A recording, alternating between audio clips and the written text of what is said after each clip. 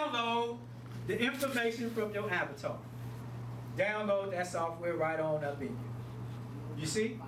This is what we're talking about with uh, regenerative science, cryogenics or cryonics and things of that nature. Once again, how it works.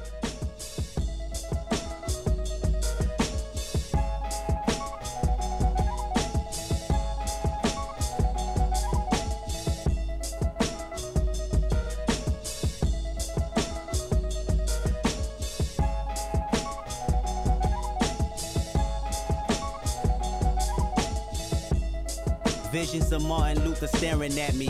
Malcolm X put a hex on my future, someone catch me. I'm falling victim to a revolutionary song. The Serengeti's clone. Back to put you backstabbers back on your spinal bone. You slit your disc when I slit you my dish. You wanted to diss, but jumped on my dick. Grown men never should bite their tongue unless you eating pussy that smell like it's a stale plum. I got my finger on the motherfucking pistol, aiming it at a pig. Charlotte's Web is gonna miss you. My issue isn't televised, and you ain't gotta tell the wise how to stay on beat because our life's an instrumental. This is physical and mental. I won't sugarcoat it. You'll die from diabetes if these other niggas wrote it. And everything on TV just a figment of imagination. I don't want a plastic nation. Dread that like Greetings, we're here at the KRST Unity Center of African Spiritual Science once again, dropping another visual presentation on some very serious information. Uh, the title tonight is um, Wormhole, Cybernauts, and Holographic God. So we'll deal with um, we'll deal with the Tupac hologram as they call it. It's really not a hologram, but I'll get into that um, tonight and what the purpose of it is from a standpoint of the psyche and programming and things of that nature. Um, as well, we'll deal with virtual reality, virtual environment, uh, things of that nature. So we're going to deal with some very, very serious information, how it relates to uh, not only the present, but the future, most importantly. And that's what's going on tonight. Computers for this in the 50s for oppression. What do you think they're using computers for now? 50, 60 years later. IBM is behind Huh? the RFID chip too. See?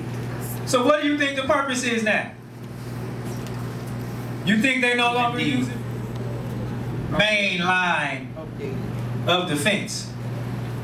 Right? I want y'all to first be clear about that.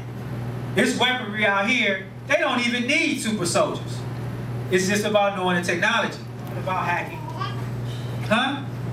Are you not being hacked all day, every day, whether you realize it or not? If you turn on the television, you're being hacked.